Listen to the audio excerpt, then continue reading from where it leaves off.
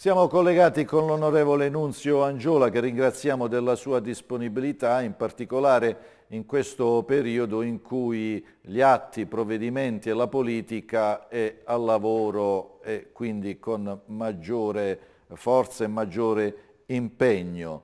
E quindi onorevole, ma siamo in azione?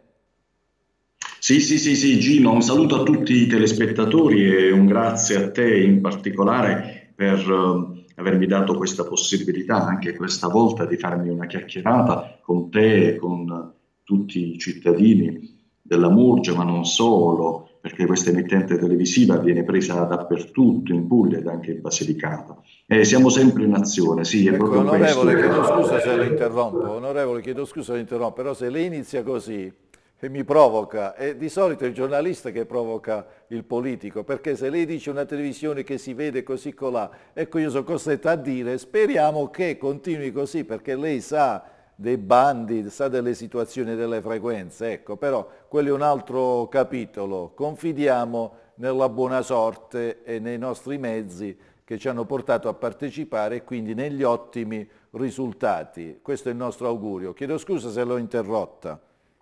No, ma figurati Gino, io lo sai che ci credo molto nell'importanza delle televisioni di comunità, delle televisioni ehm, private in generale, perché ehm, prestano un servizio utilissimo ai territori, sono quelle più vicine ai territori. Senza le televisioni private ehm, non ci sarebbe la possibilità di dare adeguato risalto a tutto ciò che succede sui territori e fare giungere nelle, nelle case tutte mh, le discussioni che si fanno a livello nazionale. Quindi è uno strumento formidabile di informazione, di formazione che riesce capillarmente a raggiungere tutti i cittadini.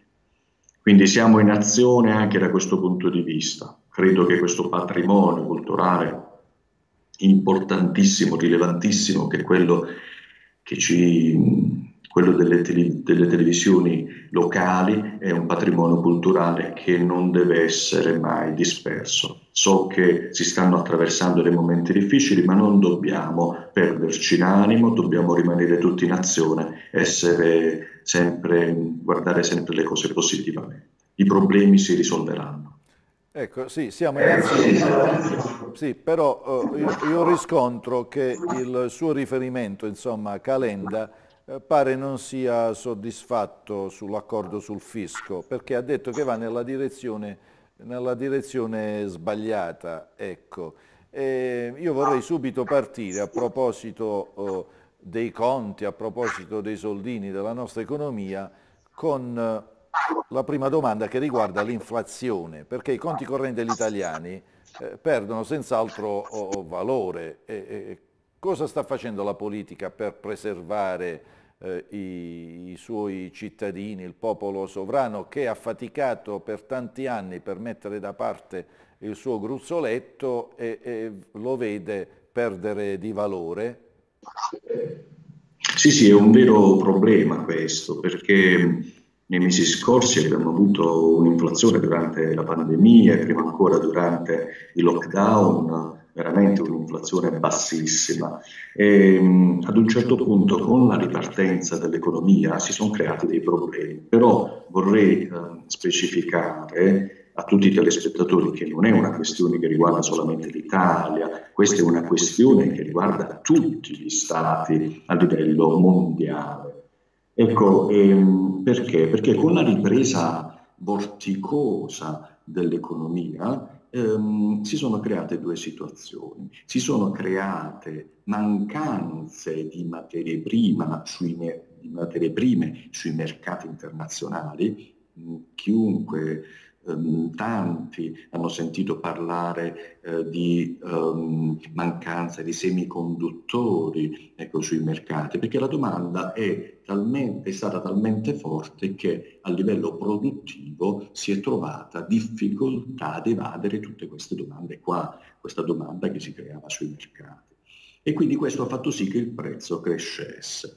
Mm, se penso ai semiconduttori, anche l'Unione Europea, vista che si è trovata sprovvista di semiconduttori, quindi eh, si è rallentato tantissimo nella produzione di automobili, per esempio, che si servono di semiconduttori, l'Unione Europea ha deciso di accelerare rispetto al tema della produzione in Europa di semiconduttori che venivano nella gran parte finora prodotti nei mercati asiatici. Ecco, ma oltre a questo punto, cioè mancanza di materie prime dovuta e con l'eccessiva domanda si, sono, si, sono, si, è assistito anche a delle speculazioni sul mercato delle materie prime a livello, a livello eh, internazionale.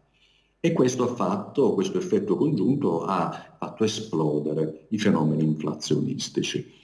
Eh, in, in, Italia nello scorso mese di ottobre si è registrato il 3,1% di inflazione, mentre nell'Eurozona era del 4,1%, in Germania del 4,6%, addirittura negli Stati Uniti ancora di più, del 6,2%. Quindi è un problema serissimo che non riguarda solo l'Italia, ma riguarda ecco, tantissimi paesi a livello mondiale, dove più, dove meno.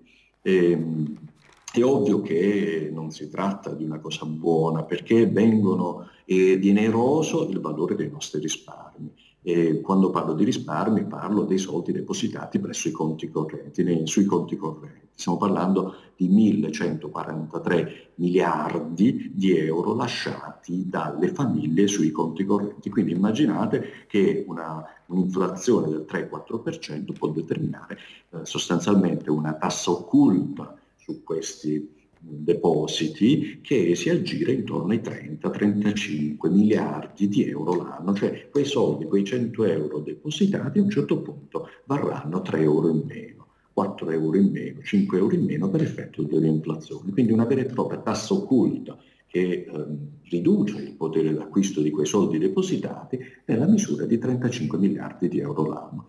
Vi assicuro che questo è un tema che è veramente al centro delle discussioni della politica, quindi in Parlamento stiamo veramente discutendo molto di questo tema e si ipotizza, visto che, attenzione a questo passaggio, l'aumento dell'inflazione si porta con sé anche l'aumento dei tassi di interesse sui mutui, i famosi tassi variabili sui mutui, come per esempio i mutui per l'acquisto della prima casa. Ecco, il tema lo stiamo analizzando, lo stiamo intenzionando e si parla di porre un tetto massimo eh, sui tassi di interesse praticati dalle banche sul, per gli acquisti della prima casa.